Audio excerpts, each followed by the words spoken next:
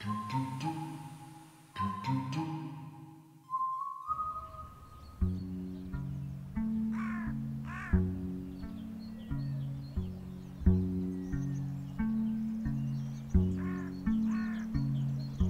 gens avaient, avaient la certitude qu'ils étaient les oubliés du monde. On était vraiment la, la commune typique française qui perdait tout son- tous ses emplois dans le textile, dans les articles chaussants. Et, et lorsque la maroquinerie s'est installée chez nous, euh, ça a renversé la vapeur.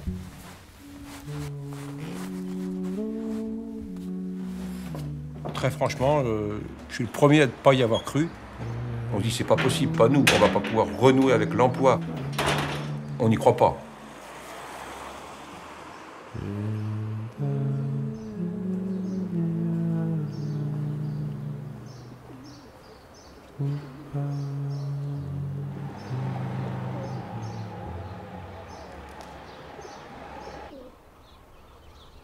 Jour de l'inauguration de la maroquinerie, j'étais euphorique parce que ça y est, c'était du concret, c'était du vrai.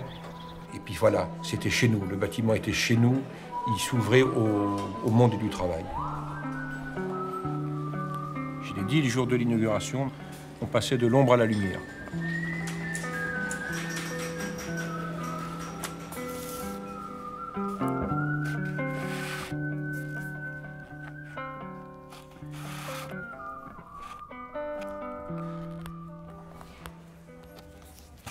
Montbron, c'était une ville que j'ai voulu fuir petit parce qu'on pensait avoir aucun avenir, on se faisait un peu chier.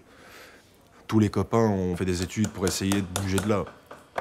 On savait tous qu'après le collège, on allait partir un jour. Et puis euh, finalement, moi j'ai commencé à faire des voyages. J'ai travaillé dans la restauration pendant 10 ans. J'étais serveur, donc ça me permettait de, de partir. Je travaillais 6 mois sur Montbron et puis je partais 6 mois à l'étranger. Et euh, aujourd'hui, voilà, moi mon chemin il est fait. euh, je, prends un vrai métier et je m'éclate dans ce que je fais. Ah, J'ai pas les mots, mais j'aime ça. Là, quand je dis je suis maroquinier, euh, tout le monde me, demande euh, ouais, qu'est-ce qui se passe, qu'est-ce que c'est, qu'est-ce que vous faites?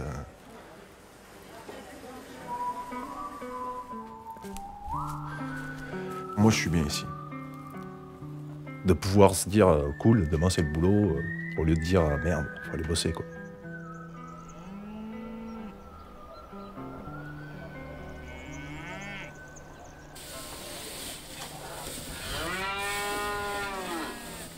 On fait le tour de ces animaux le matin, on regarde qu'ils soient bien alimentés. Ensuite, on vient à la mairie dès 8 heures. À midi, on rentre chez soi. On refait le tour des animaux. L'après-midi, on revient à la mairie, mais que vers 3h, 3h30. Et puis le soir, on ne regarde pas tout à fait les horaires. On essaye de faire. Voilà.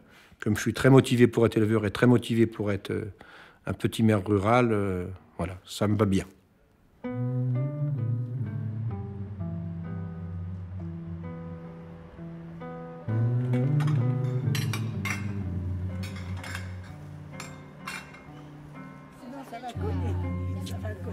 Merci d'avoir répondu à l'invitation de la municipalité.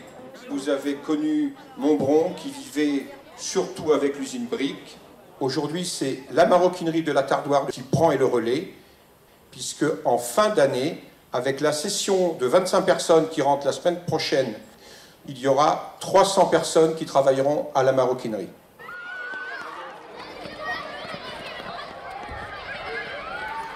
C'est vraiment une renaissance et pour Montbron. On perdait une classe tous les 4 ans et aujourd'hui on a gagné euh, pour la dernière rentrée là une vingtaine d'enfants. Les trois quarts sont de la maroquinerie.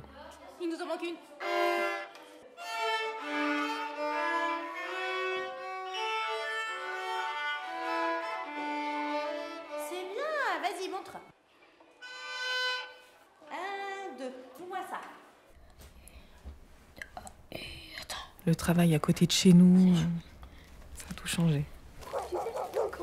Quand je travaillais au supermarché, il y avait quand même 70 km aller-retour.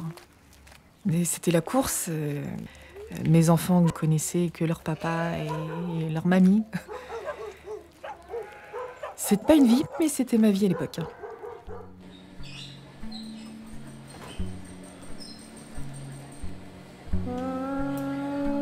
J'ai vraiment eu l'impression de, grandir, de devenir, euh, de devenir quelqu'un.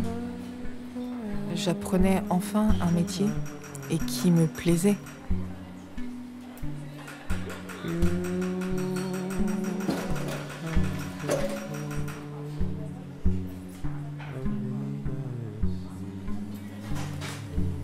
Le fait de travailler à côté de chez nous, avec, euh, les horaires, on travaille pas les week-ends.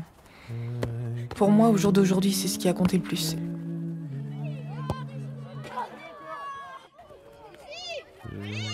Allez, ramenez la balle, les gars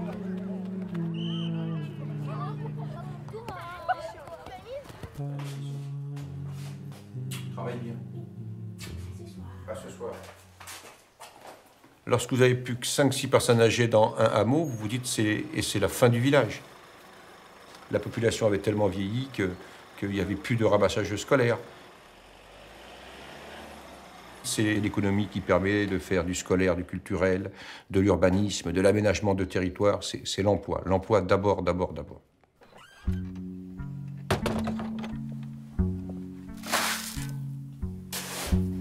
Moi, je crois beaucoup à l'État, je crois beaucoup à la solidarité.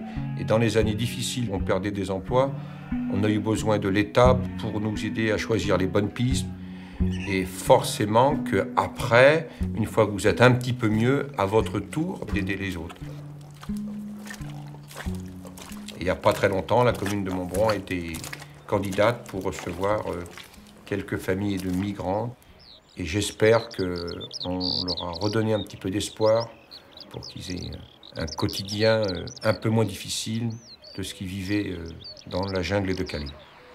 En les accueillant et à Montbron pendant quelques mois.